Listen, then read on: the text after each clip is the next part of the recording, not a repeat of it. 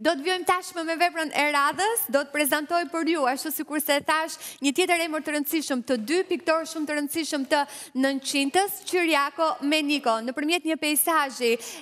i teknikës vaj në kanavac, me përmasat 57 dhe 71 cm, i vitit 2007 ky pejsazh, i prezantuar për ju me çmimin 1000 euro. Qirjako Meniko. Ja, tashmë ku e kemi, njëjtë si Halimi duhet thënë,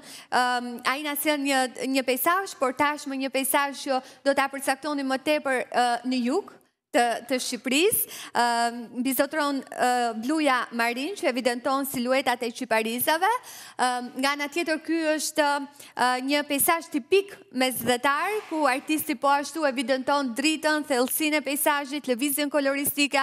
mbase në këto ullishtet apo agrumet që ne shohim në plan të parë, edhe më pas me të kaltrën, edhe me këtë blunë, më saktë, me blunë marinë të detit. Është një pikturë që Ashtu sikurse thashë që në fillim do të ishte e nderuar të ishte pjesë e çdo koleksioni, pra çdokush do të ishte i nderuar të kishte një pikturë të tillë në çdo ambient dhe sidomos kur bëhet fjalë për mjeshtrin Meniko. Ka qenë dhe drejtor i Galerisë po, Kombëtare të Arteve, apo jo? Do lejoni që të ndaloj pak ke Qirjako Meniko, është një piktor shumë interesant, Është gjithë jetën ka qenë pedagog në Akademinë e Arteve, ka qenë madje edhe pedagogu im, historisë së artit. Është një piktor që vjen nga bregu, pra nga mhm. me origjinë nga bregu, dhe sigurisht që bregun, bregun e ka të vetin dhe ai ka një sërë pejsazhe, të cilat janë nga bregu, por që janë të mrekullueshme. Nëse ka një pejsazh që ai e profeson në mënyrë tepër origjinale, është pikërisht piktura e Qirjako Menikos, i cili është shumë origjinal në trajtimin piktorik. është origjinal për ngjyrat që ka, sepse ai operon me ngjyra të drejtpërdrejta, me kontraste të forta, por që janë shumë dekorative dhe shumë të bukura. Pra, nëse do t'jua përshkruaj, mhm. nëse do i shofim, mënyra se si ka, e ka kompozuar, mënyra se si deti, mënyra se si ikin këto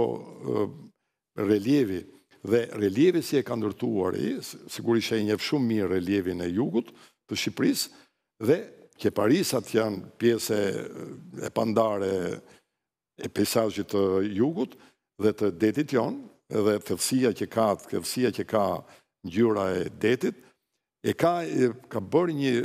Për shkrim shumë edhe grafik, por njëkohësisht është edhe estetik, është ka ngjyrë, ka lëvizje dhe ka, domethënë, ka një bukuri të ndërtimit kompozicional, ka të shpërndarjes së ngjyrës, ka harmoni e cila vjen shkallë-shkallë deri në maksimum dhe ka dhe befasi, të befason pra në çdo moment një pikturë e bukur kur ti relaton me të,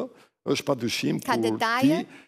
Ka detaje të bukura dhe ti vazhdimisht kur je para saj, zbulon momente të ndryshme, në momente kur ti je dhe ti futesh në në një raport shumë origjinal me të kur e lexon në momente kur je